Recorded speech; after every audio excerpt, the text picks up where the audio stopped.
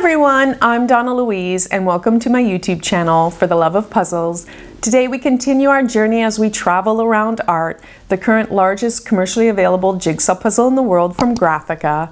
If you haven't seen the other videos that I've released in this series, I'll leave all the links in the description below. I suggest you at least watch the unboxing video just to get an overview of the jigsaw puzzle itself. Now, I still don't have my big beautiful map in my background, so very boring plain white background, sorry about that. But I just finished filming the previous video, so I decided to leave that section of the puzzle up on the table. So that was uh, bag 9, section 21. Today we're starting with bag 10, section 12. Look at this section. This section worries me. So much background. This painting right here, I think it's a Da Vinci so complicated, beautiful but complicated. This frame, I have a feeling this is gonna take me 18 hours. I'm just gonna put it out there. I think about 18. This section here took me 10 hours and 42 minutes. So I'm thinking this will take me seven to eight hours longer. What do you think? I'm up for the challenge though, I'll get it done. But yeah, so many background pieces. And I know there's detail on a lot of them, so I hope that helps. But after a while, I find my eyes just, everything looks the same, you know? Shades of light white to beige to darker beige to brown, it just all kind of blends in. This will be bag number 10. So if we pull out my panoramic poster here, Trying not to get too much glare from that lovely spring sun that we have outside. I've completed now the first panel of three sections, the second panel of three sections. On the table right now, you see this bottom section of the third panel, and now we're moving up to the middle. I've also on the other end of the puzzle completed two bookshelf sections. After this one, I'll do the top, which is another single, just one painting, and then I'll go back and do another bookshelf section. I really enjoy those bookshelf sections, but I'm not gonna lie, I'm a little worried about this. I, I think this is gonna be the hardest section of the entire jigsaw puzzle. When I look at every section that I have remaining, I think this one's gonna be up there. I could be wrong, fingers crossed, let's hope. I'm up for the challenge like I said, so let's just jump right in. For the love of puzzles, let's get working on bag number 10, section 12, as we travel around art. There are three paintings in this section of the puzzle. The first is called The Great Wave off Kanagawa by Katsushika Hokusai. I should elaborate that it is actually a woodblock print, believed to have done from like 1820 to 1831 during the Edo period of Japanese history. It's approximately 25 by 37 centimeters in size. Now, Hokusai was a ukiyo-e artist. Again, lots of Japanese words and names here. I'm sorry if I'm mispronouncing them. Now, ukiyo-e is a Japanese printmaking technique which flourished in the 17th to 19th centuries. The term itself translates to picture or pictures of the floating world. This print depicts three boats moving through a storm-tossed sea with a large wave forming a spiral in the center and you can see Mount Fuji is visible in the background.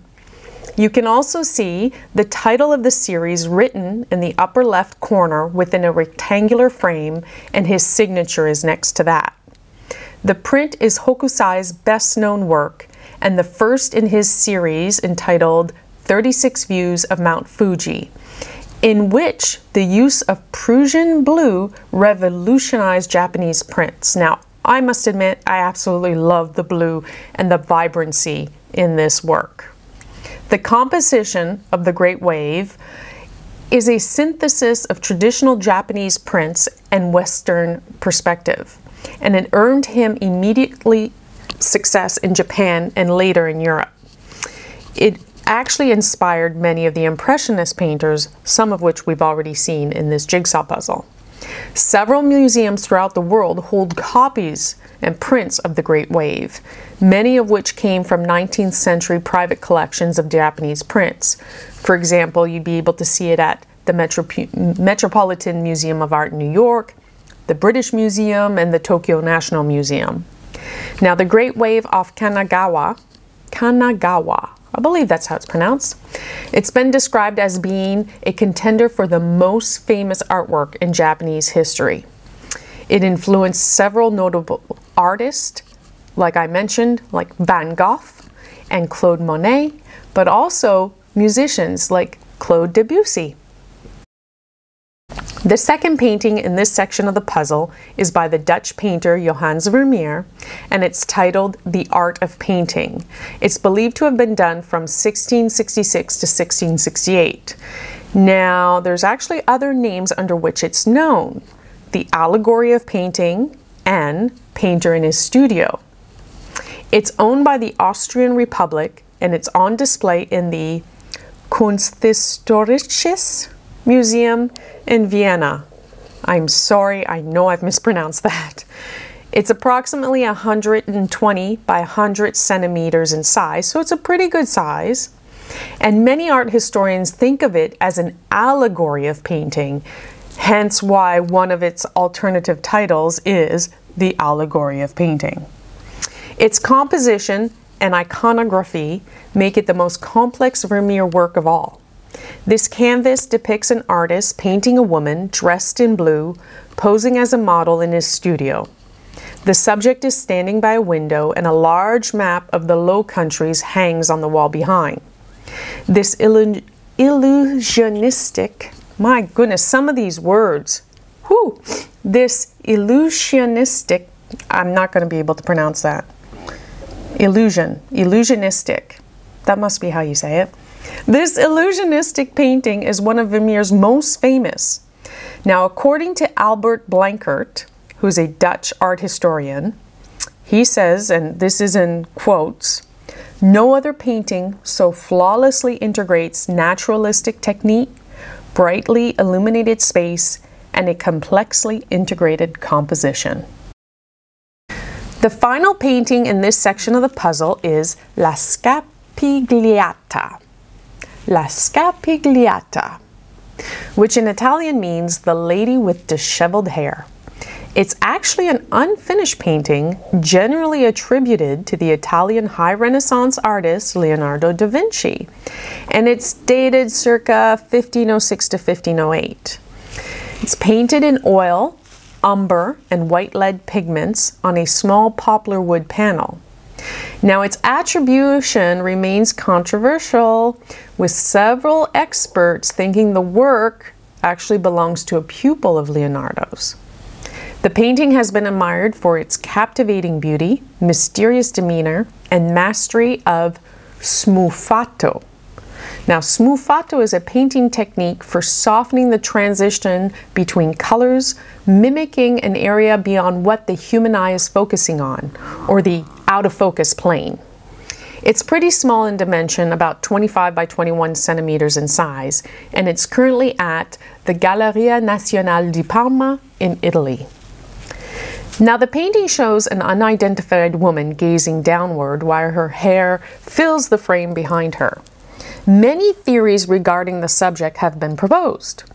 That it's a sketch for an uncompleted painting of St. Anne, maybe a, a, study for the London version of the Virgin of the Rocks, or Leonardo's lost painting of Leda and the Swan, or a painting left deliberately unfinished for its aesthetic value.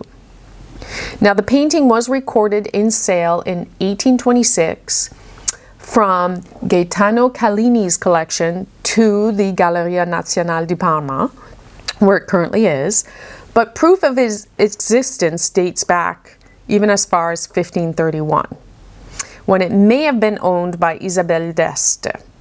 Although many studies of Leonardo's works are silent on the issue, most scholars who discuss the painting regard it as an autographic work by Leonardo da Vinci and it has been listed as such in man, many various major Leonardo exhibitions. 19 hours and 34 minutes. That's how long it took to complete bag number 10, section 12. Definitely a hard section, the hardest section so far. And of those 19 hours and 34 minutes, the last eight and a half hours all background pieces, including like the ones with design. I tried. I tried. After a while, everything just looked the same. I had to walk away and come back. And, and I knew some lighter pieces went up top. I knew some pieces that had background details should go only in certain places. I couldn't figure it out. So did you notice what I did? Hmm? Did you pick it up? I went and grabbed a completed section, a library bookshelf section, and I slid it underneath the puzzle. Why? Because I know they're all cut from the same pattern. See, my husband has a saying. He said to me, There's no right way or wrong way to puzzle, but there are smarter ways. And I think I saved myself two, three, four hours perhaps, because by sliding that other puzzle underneath, I really was down to maybe about 300, 350 um, background pieces remaining, and they, they just all looked the same. So by putting that puzzle underneath, I could quickly at least find the places for the one prong, the two prong, and the three prong pieces. There weren't that many of those. And then it did help me figure out the other pieces because I had a bit more information. See, I grabbed a piece that was already in the puzzle and I tried to find a piece that connected with it. And I could see what piece I was looking for. So if it had characteristics like the prong curved significantly one way or another, it just helped me to go a bit quicker. I still had to go through a lot of pieces and then at times it was like a light bulb went off and I was like, oh, that goes here, here, here, here. And I was like, oh, wow, look at that. I did quite well, you know. But whoo, so yes, I did similarly to how I did the pink crypt and the silver crypt. I built the silver crypt puzzle from Ravensburger on top of the pink one. I did that here and it did help me. Really at that point, I mean, I didn't want to spend too many hours looking at beige pieces. I do think it saved me a bit of time, but it still took quite a lot of effort and work to do. However, I absolutely love this section of the puzzle. It's beautiful. I love the blues and I love how different this picture is. It's amazing. I love this one, whether or not it's from Da Vinci or one of his pupils. Beautiful. I love the frame. So lovely.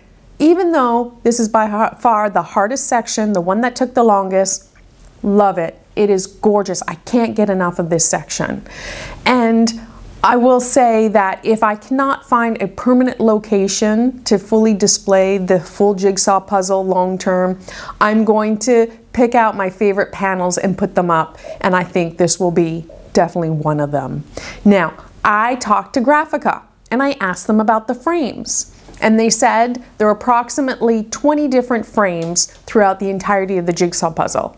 I don't think I've mentioned this in any of my previous videos. Apologies if I'm repeating myself. Now the reason why they said approximately 20 is because frames repeat themselves but they've been slightly altered, maybe stretched or elongated or whatnot. So their dimensions slightly changed or because then if the dimension changed, maybe more or less of the detail is visible so it's not exactly the same frame, but maybe it is. So they said approximately 20 different frames throughout the 53 fine art pieces that are displayed. So I thought that was really nice. So thanks again to Grafika for always providing such interesting information about this lovely large jigsaw puzzle. I'm now done 10 bags, only 17 more to go. The next section, the one that goes above this, is just one large painting. They usually take a bit of time, but I don't think it'll take this much time.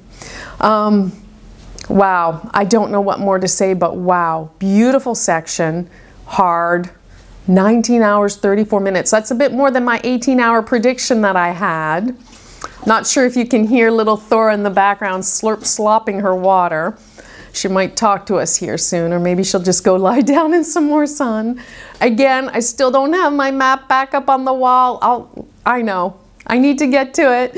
Um, but yeah, I really enjoyed it and I hope you enjoyed it as well.